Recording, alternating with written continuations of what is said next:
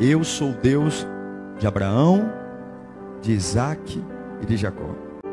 Eu entendo de verdade por que, que ele se diz Deus de Abraão.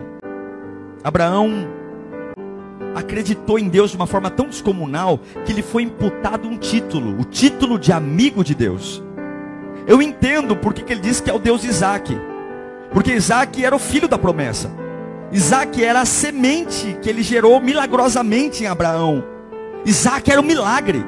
Portanto, eu entendo quando Deus diz: Eu sou o Deus de Isaac. Mas o que me prendeu a atenção quando eu li esse texto é que ele disse que também era o Deus de Jacó. Uau! O nome Jacó significa enganador. O nome Jacó significa trapaceiro. Jacó era uma desgraça, era uma mancha no rosto de uma linhagem santa.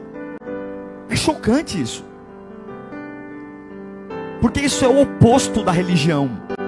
Porque a religião combina com Abraão. A religião combina com Isaac, mas a religião não combina com Jacó. Por que, que Deus se associaria a um caráter questionável? Por que, que Deus diria que Ele também é o Deus de Jacó?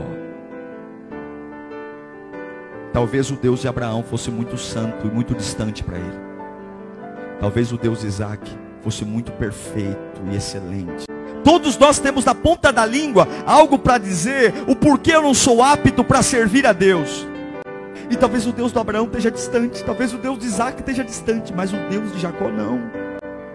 Eu sou Deus dos lábios pesados, eu sou Deus dos que gaguejam, eu sou Deus dos que cometeram erros, eu sou Deus dos que foram presos, eu sou Deus dos que tiveram filhos fora do casamento, eu sou Deus dos que usaram drogas ou usam drogas, eu sou Deus que em algum momento da vida cometeram assalto, eu sou Deus daqueles que abortaram, eu sou Deus daqueles que se divorciaram, eu sou Deus daqueles que se casaram impuros, eu sou Deus daqueles que faliram, eu sou Deus daqueles que não concluíram a faculdade, eu sou Deus daqueles que estão viciados em remédios. Eu não sou somente o Deus dos nobres, eu não sou somente o Deus dos puros, eu sou o Deus daqueles que foram negados, rejeitados e acharam que nunca seriam nada na vida. Deus manda dizer para você: você vai fazer coisas maravilhosas, porque Ele é o Deus do Abraão, Ele é o Deus do Isaac, mas Ele também é o Deus do Jacó, e Ele vai achar você.